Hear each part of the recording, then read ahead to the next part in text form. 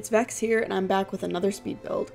It is always spooky season to me, but this week it's also Barbie season with the Barbie movie coming out. So today I'm building a Barbie Victorian dream house that's fit for Vampire Barbie in all of its pink and black, maximalist, floral, rococo, gothic, revival, extra mishmash glory.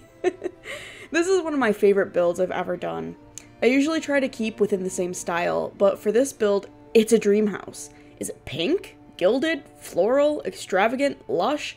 Then yes, it belongs in the build.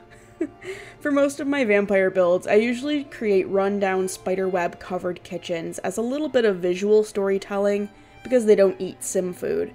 But for this build, why would Vampire Barbie not utilize her space? She is an architect after all. So she's converted it into a hosting room with a bar, which certainly comes in handy during her lavish parties. There's a room downstairs with a piano, because Vampire Barbie, of course, is an accomplished piano player.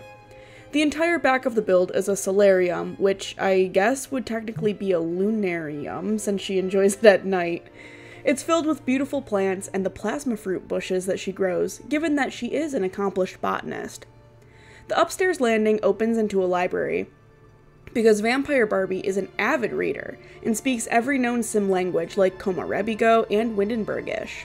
I was so excited to see that Felixandre's new Chateau bookcases come in this beautiful light pink swatch.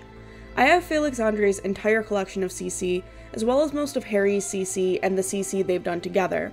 Aside from just loving every single thing they make, one of the benefits is that their swatches between sets are usually the same or at least complementary, which makes matching quite easy, even for a very different color palette build like this one. The bedroom upstairs is a huge suite. I normally would make this at least two or three bedrooms, especially for a Victorian floor plan.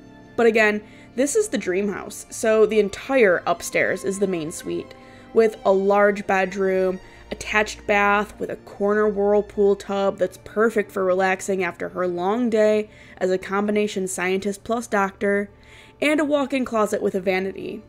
Barbie is a world renowned fashion and designer and makeup artist after all. And I heard she actually did a makeover for Judith Ward's recent award acceptance at the Starlight Accolades. all in all, I absolutely love how this build turned out. It's honestly my dream home now. Are you going to see Barbie when it comes out? Let me know down in the comments. I can't wait, and if you do see it, I hope you have an awesome time. As always, thanks for watching, and I'll leave you with some music.